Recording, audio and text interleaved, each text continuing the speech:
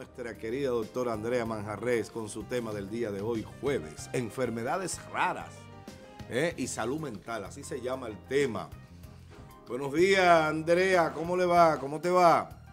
Saludos. Buenos días, muy bien.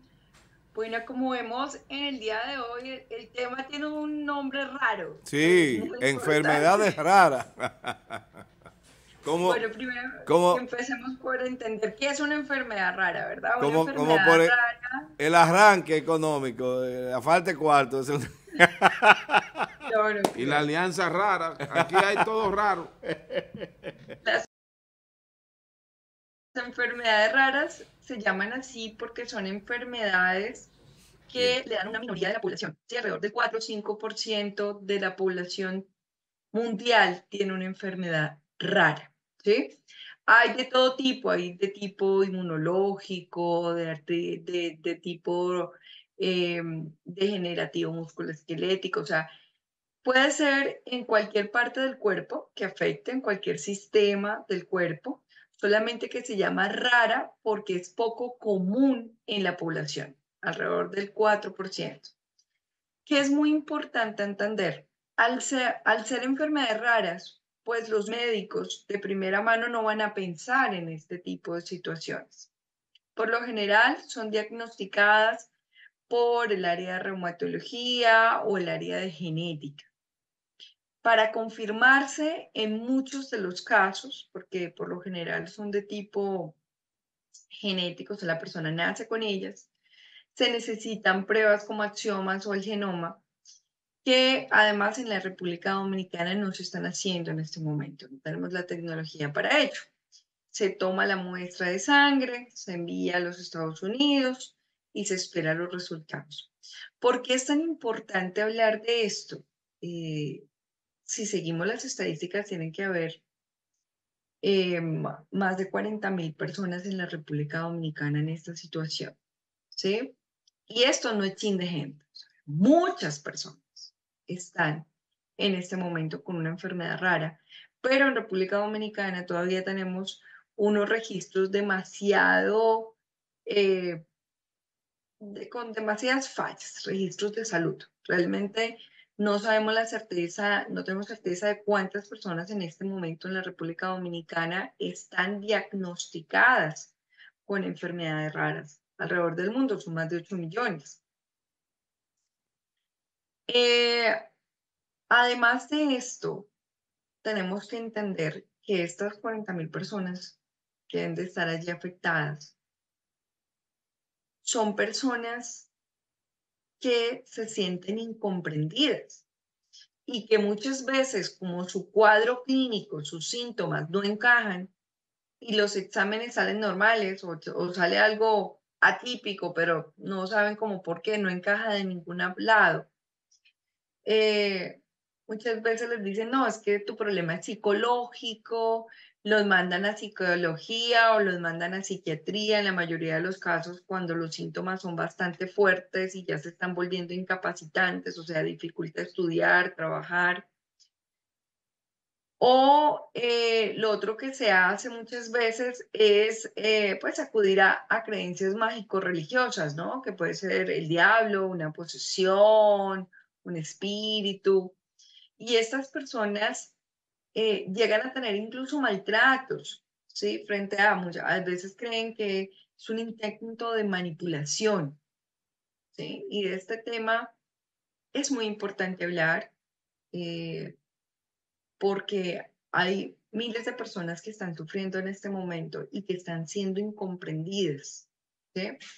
Entonces, eh, lo primero es una invitación a nuestros queridos médicos maravillosos a que no se den por vencidos cuando no le encontramos lógica a los síntomas de un paciente y no hacer un descarte rápidamente de que ah, eso debe ser mal manejo del estrés, eso debe ser que está somatizando, mándenlo a psiquiatría y a psicología y ya está, sino que de verdad hagamos una investigación profunda, ¿sí? Al respecto eh, y se remita a genética, se remita a la parte de reumatología si es de lugar.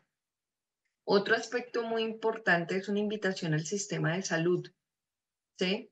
Por las bajas coberturas de este tipo de enfermedades que por lo general terminan siendo enfermedades de muy alto costo.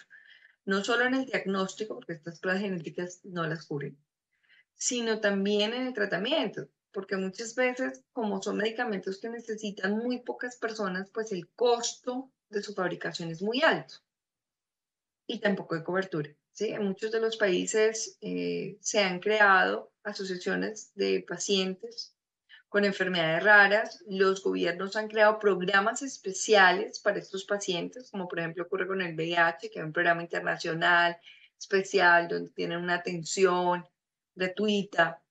¿Sí? Lo mismo ocurre en la mayoría de los, pacientes, de, los pacientes en, en diferentes países, pero en República Dominicana estamos muy mal en ese sentido. Cuando nos llega a nosotros los profesionales de la salud mental, psicólogos y psiquiatras, un paciente que viene derivado porque aparentemente está somatizando, ah, no, eso es ansiedad, eso es estrés, eso es una crisis histérica, pues no lo demos de hecho, ¿sí? No, no digamos, ah, sí, eso es lo que dijo el médico, indaguemos un poco más. Y si no nos cuadra el diagnóstico, devolvamos al paciente a la parte de medicina para que sea reevaluado. Ahora, el apoyo psicológico, ¿sí? el apoyo en la salud mental, y por eso el tema de hoy se llama salud mental en enfermedades raras, es muy importante. Porque al haber pasado tanto tiempo con episodios de dolor, al haber pasado tanto tiempo con síntomas extraños que van y vienen, incomprensibles, empieza a generar una indefensión aprendida. ¿sí? O sea, no importa lo que yo haga, no mejoro, sigo enfermo. Y esto le da paso a una depresión que empieza a generar desde luego otros síntomas y agudizar los síntomas que existen de por sí por la enfermedad rara. ¿Sí? O también ansiedad, ansiedad de qué? Recordemos que ansiedad es el pensamiento centrado en futuro, ¿sí? Ese temor hacia el futuro. Pues el futuro inmediato en términos del dolor y las molestias de los síntomas del día a día, desde que se levantan, Dios mío, otra vez este calvario, o a cuál va a ser mi futuro si sigo así, o sea, hacia dónde va a ir el progreso, cuál es la evolución, cómo empeoraría, no empeoraría, puedo caminar, puedo vivir. Entonces, esto genera también ansiedad y termina confundiéndose. Entonces, ¿qué es muy importante? que estos pacientes reciban, desde luego, un diagnóstico adecuado con su respectivo tratamiento, con apoyo del Estado en este caso, porque deben de haber programas especiales, porque no hay familia que aguante económicamente hablando este tipo de situaciones. Y por otro lado, aunque tenga el diagnóstico adecuado de cualquier enfermedad rara, necesita el acompañamiento de psicología para aprender a manejar dolor, para aprender a manejar la ansiedad del futuro, para aprender a aceptar ya el pronóstico, ya cuando se tiene, este es el diagnóstico y esto es lo que va a pasar, aceptar lo que se tiene y aprender a manejarlo y construir un proyecto de vida teniendo en cuenta la realidad de esta enfermedad que ha sido diagnosticada.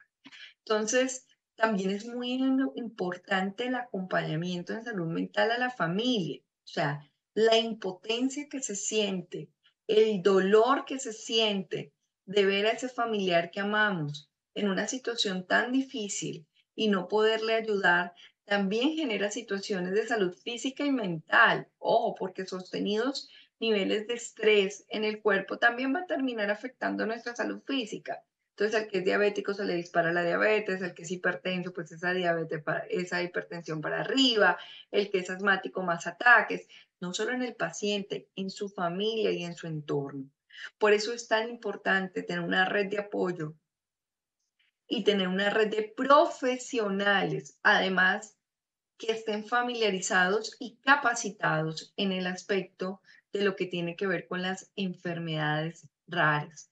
Hablen, escuchen, y por cierto, en el día de hoy tenemos las ruedas comunitarias, que son terapias grupales en los cuales son círculos de escucha, usted puede ir a hablar.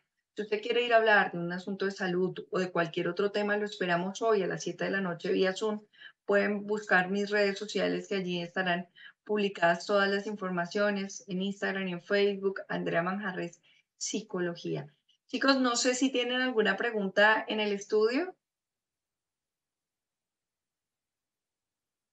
Interacción con la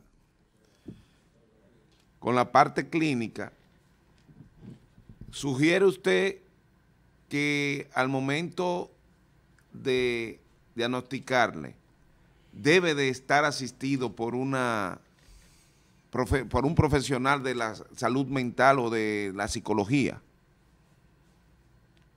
No necesariamente en el momento que se le da la noticia, a excepción de que sea una enfermedad de muy mal pronóstico. O sea, si sabemos que al final desafortunadamente es una enfermedad que va a llevar a la muerte o algo así, así como pasa con el cáncer, que lo ideal es que estuviera la persona allí, o, con el VIH, que los que den el, resultado son, según la ley dominicana, deben de ser los psicólogos. Cuando una persona tiene VIH positivo, pues también debería ocurrir en el caso de que el pronóstico de la enfermedad sea eh, desfavorecedor, muy desfavorecedor. En el caso de que no sea tan complicado, pues la idea sería que se incluyera el psicólogo en el equipo de profesionales que trabajaría con esta persona, porque no solamente es en el momento de que acepte el diagnóstico, sino cómo va a ir manejando su día a día, ¿no? Y eso influye mucho en la adherencia al tratamiento. Bueno, gracias, eh, muchas gracias Andrea por estar con nosotros como siempre cada jueves, ya no tenemos tiempo para más.